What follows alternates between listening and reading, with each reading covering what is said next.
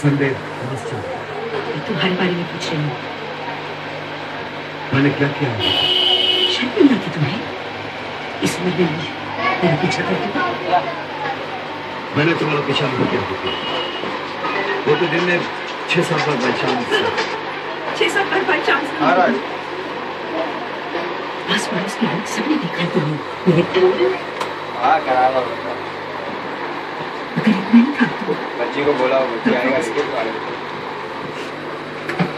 वापस आने के लिए तो गया लेकिन तुम्हारे पिताजी ने जो बैग दिया था, उस बैग को भरते भरते मेरा भरता निकल गया।